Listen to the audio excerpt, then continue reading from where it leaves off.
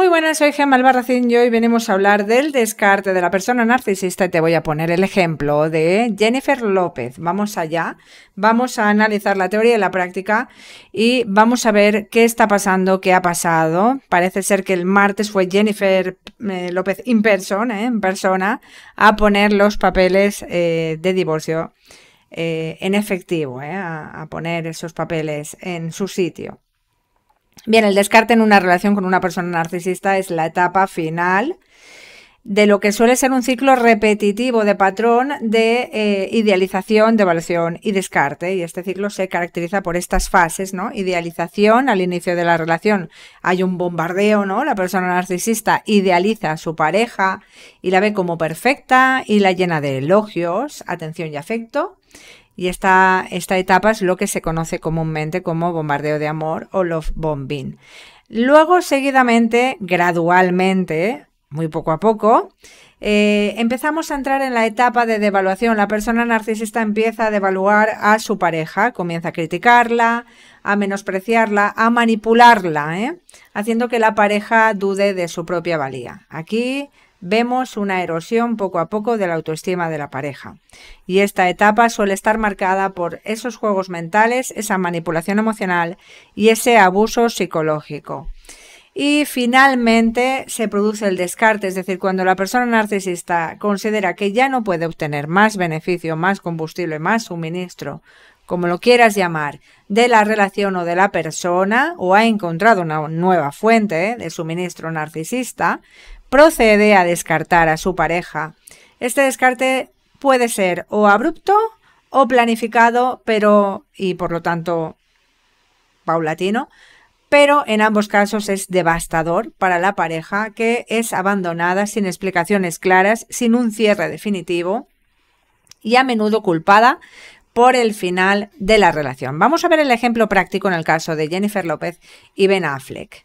En este escenario, eh, en el que Jennifer López ha presentado los papeles de divorcio el 20 de agosto, eh, podríamos considerar que es un descarte por parte de Jennifer López. ¿no? La idealización, vemos que realmente se unieron en 2021 ¿no? y la pareja fue recibida con entusiasmo, tanto por ellos como por el público.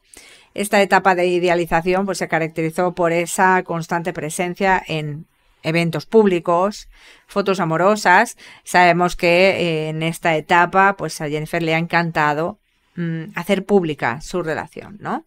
Y todo esto ha hecho o hizo que esta pareja se convirtiera en una de las parejas más admiradas de Hollywood. A medida que la relación avanzó, comenzaron a, surgir esas tensiones. A nivel público, pues podríamos haberlo visto eh, manifestado en menos apariciones juntos, en rumores de desacuerdos y comentarios filtrados eh, de personas cercanas. En privado, Ben Affleck podría haber experimentado una disminución en la atención y en el afecto de Jennifer, junto con críticas constantes. Podría Jennifer haber visto a Ben como alguien que ya no satisfacía sus necesidades emocionales y de validación. Y finalmente, después de mucho ir y venir, el 20 de agosto hemos visto presentados unos papeles por ella misma, es decir, en persona, algo, un dato importante, y este acto puede ser el resultado de un plan meticuloso donde Jennifer pues, podría haber encontrado una nueva fuente de atención o simplemente ya no veía ningún beneficio en seguir manteniendo esa relación con Ben. En un intento por controlar la narrativa, Jennifer podría haber anunciado el divorcio de manera repentina y fría, algo que se venía ya, eh, sin embargo, es algo que se venía ya viendo, ¿no? Dejando a Ben en shock y sin una explicación clara, lo que es típico en el descarte de este tipo. Bueno, este movimiento abrupto finalmente puede ser una muestra de poder y de control, así como para preservar la imagen pública de Jennifer mientras minimiza las repercusiones emocionales que su pareja podría experimentar. En resumen, esta parte, el descarte narcisista en este contexto no solo implicaría el fin de la relación, sino una etapa de abandono calculado, donde la persona narcisista actúa de manera fría y distante y calculadora, para poner fin a la relación sin remordimientos, dejando a su pareja emocionalmente devastado y confuso. Bien, eh, vemos, eh, por tanto, como, como puntos relacionados que eh, es posible, o sea, existe la posibilidad de un futuro hoovering. Después del descarte, la persona narcisista puede intentar volver a aspirar a la víctima de vuelta a la relación. Esto lo hemos visto anteriormente, es decir, aquí han habido varias idas y venidas, con lo cual parecía que solamente por control era necesario eh, tal vez seguir manteniendo esa especie de relación. Y digo especie porque, claro, ya no, ya no era una relación tal cual al uso. Esto ocurre cuando la persona narcisista, por cualquier razón, que yo siempre digo que el control es el pilar fundamental, siente que necesita a la víctima nuevamente o no ha encontrado una fuente de suministro narcisista eh, que se precie y este ciclo de retorno y descarte se puede repetir varias veces. Además, podemos ver la luz de gas, es decir, durante la devaluación y el descarte es común que la persona narcisista use la luz de gas que al final es una forma de manipulación psicológica donde se distorsiona la realidad de la víctima y la hace dudar de sí misma, de su memoria, de su percepción, de su juicio, para que ésta se sienta culpable y piense que el problema está en ella, ¿vale? Vamos a ver el impacto que puede tener todo esto en la víctima. En primer lugar, hablamos de daño emocional y psicológico, es decir, al, al final el descarte deja a la víctima con una profunda herida emocional y a menudo la persona que fue descartada se queda preguntándose qué hizo mal eh, o cómo podría haber salvado la relación. Esta manipulación y el abuso emocional a menudo lleva a la víctima a un estado de confusión, ansiedad y baja autoestima.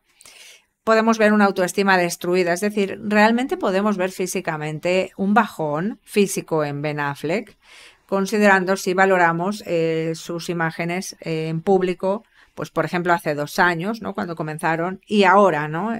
La devaluación progresiva durante la relación puede haber erosionado la autoestima de la víctima, dejándola vulnerable y dependiente de la persona narcisista. Esto hace que el descarte sea aún más doloroso, ya que la víctima siente que ha perdido una fuente de validación externa.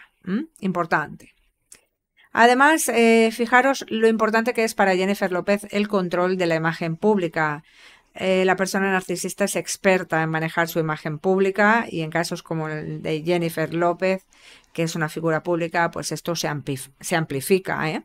La persona narcisista va a intentar controlar la narrativa para asegurar que la culpa del fin de la relación recaiga en la otra persona o que el público vea a la persona narcisista como la víctima o la superviviente.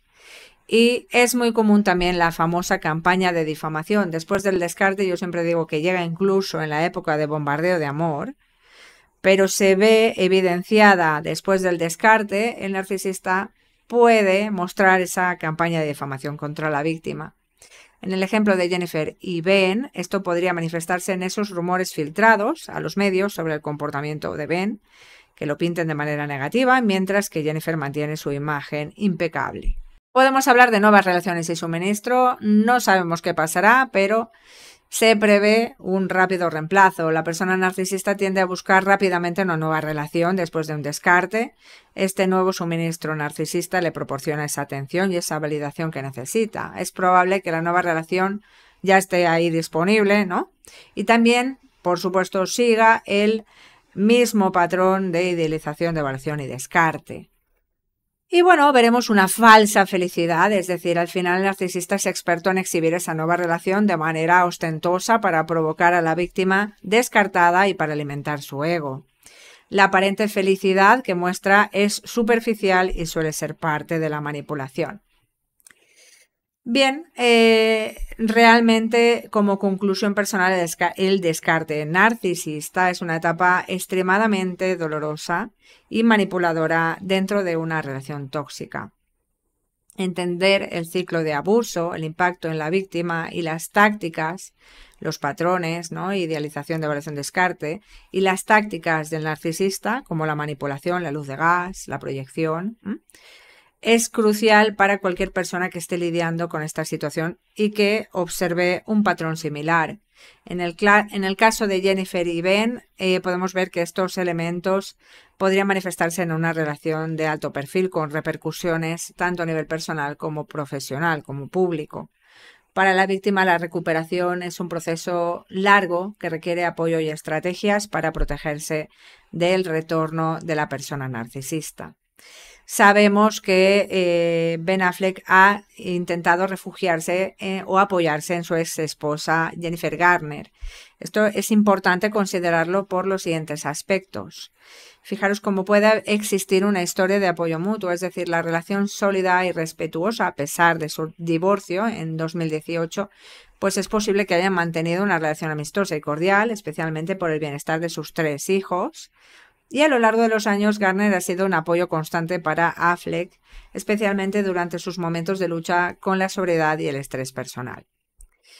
Además, es posible, podemos ver, dentro de lo que nos permiten ver los medios, un, un coparenting eh, relativamente exitoso, es decir, han trabajado juntos para criar a sus hijos de manera armoniosa y esta colaboración continua puede haber fortalecido el vínculo, haciendo que Ben eh, se sienta cómodo recurriendo a ella en sus momentos difíciles. También como el refugio de una relación estable. Después de un proceso de descarte, especialmente en una relación con un perfil narcisista, es común que la persona descartada busque apoyo en eh, personas que percibe como seguras, estables, familiares, amigos, lo que sea. Jennifer Garner eh, ha podido ser una figura de estabilidad en la vida de Ben y esto podría ofrecerle un sentido de normalidad y seguridad que es lo que él necesita en este momento. También como apoyo emocional, Garner ha sido conocida por su naturaleza comprensiva y solidaria, por lo tanto Ben podría estar recurriendo a ella no solo por la familiaridad, sino también porque sabe que ella es empática y va a comprender lo que está pasando y le va a ofrecer el apoyo emocional necesario para recuperarse. Además, eh, tenemos que contemplar que puede existir, que necesita un cierre de ciclo emocional, es decir, esa, es común que en las personas que vuelven a conectarse con las parejas en tiempos de crisis, eh, pues realmente podría buscar una reconexión, ¿no? Que le ayude a procesar el fin de su relación con Jennifer López. Busca cerrar, ¿no? No puede, no es necesario que sea eh, verdaderamente una relación romántica, no es necesario que implique una relación romántica, sino más bien un apoyo emocional, un refugio emocional. Y dado que Jennifer Garner y Ben Affleck tienen una relación basada en el respeto y el apoyo mutuo, recurrir a ella podría ayudar a Ben a recuperar parte de su autoestima y sentido de valía después de una relación en la que pudo haber sido emocionalmente desgastante. Además, el apoyo familiar es súper importante y con tres hijos en común, Ben y Jennifer Garner comparten responsabilidades familiares con lo cual Garner podría estar brindándole apoyo a Ben no solo como ex esposa, sino como la madre de sus hijos, ayudando a mantener esa eh, estabilidad familiar durante un momento potencialmente turbulento para él. Y por supuesto, súper importante ese ambiente de seguridad para los hijos. Al ofrecer apoyo, Jennifer Garner también podría estar buscando mantener un ambiente seguro y positivo para sus hijos. Al mantener una relación cercana con Ben, incluso después de un posible divorcio, bueno, ya lo hemos visto, de un divorcio con Jennifer López, demuestra su compromiso con la estabilidad emocional de su familia. Así que como conclusión, el hecho de que Ben Affleck se esté apoyando en Jennifer Garner pues después de ese distanciamiento con Jennifer López es comprensible, ¿no? Dada su historia compartida, la estabilidad emocional que ella presenta y el continuo vínculo que tienen a través de sus hijos. Eh, por tanto, Jennifer Garner ha sido una constante en su vida y es posible que haya recurrido como apoyo emocional a ella. Como conclusión a todo, pues hemos visto cómo Jennifer López al final ha tenido que acudir ella misma en persona a presentar los papeles del divorcio. Vemos un ciclo de idealización, de evaluación y descarte, eh, patrón característico de relaciones con perfil narcisista y en el caso hipotético de Jennifer y Ben Affleck, eh, este ejemplo es claro. Jennifer después de haber Jennifer López, después de haber idealizado y luego de evaluado a Ben, eh, finalmente lo ha descartado de manera abrupta al presentar esos papeles de divorcio, dejando a Ben pues emocionalmente devastado. Este tipo de comportamiento es típico del perfil narcisista que al percibir que su pareja ya no le proporciona ningún tipo de validación o estatus deseado, se distancia y busca nuevas fuentes de suministro. Por tanto, en medio de esta turbulencia, Ben ha recurrido a su ex esposa Jennifer Garner para encontrar estabilidad y apoyo emocional. Además, la relación sólida se basa en el respeto mutuo y en su compromiso con sus hijos, con lo cual ha permitido, todo esto ha permitido que Ben encuentre un refugio en ella durante este difícil momento, ¿no? Este escenario destaca la complejidad emocional y el daño que pueden causar las relaciones con perfil narcisistas, perfiles narcisistas y subraya la importancia del apoyo emocional y familiar en los momentos de crisis. ¿eh? Súper importante, recuerda que todo esto y mucho más lo tienes en mis libros Narcisismo Revelado y Narcisismo Encubierto. Los tienes en formato ebook, en formato tapa blanda y en formato tapa dura, a la venta disponibles en Amazon. Si has llegado hasta aquí, no olvides suscríbete, coméntame qué opinas. Yo te leo siempre. Gracias por llegar hasta aquí y nos vemos pronto.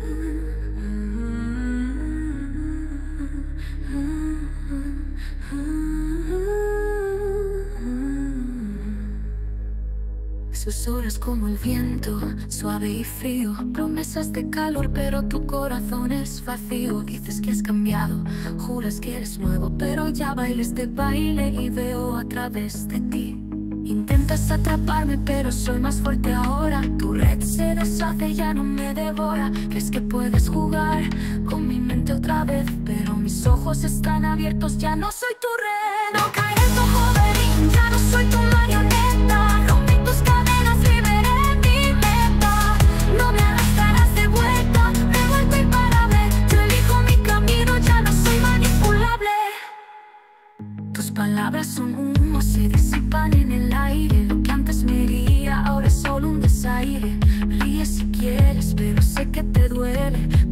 Porque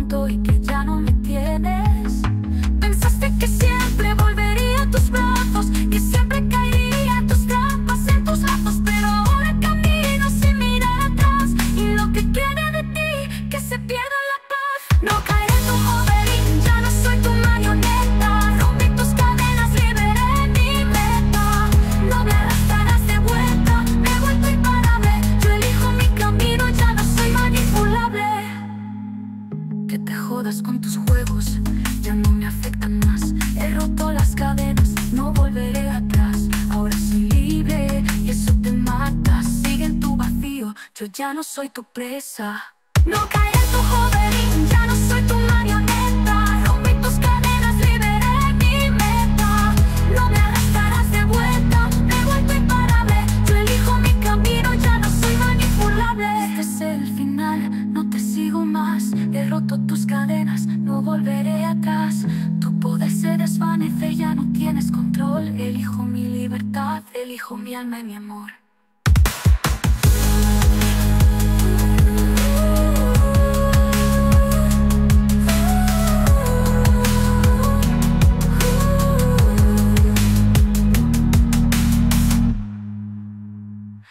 Este es el final, no te sigo más. He roto tus cadenas, no volveré atrás.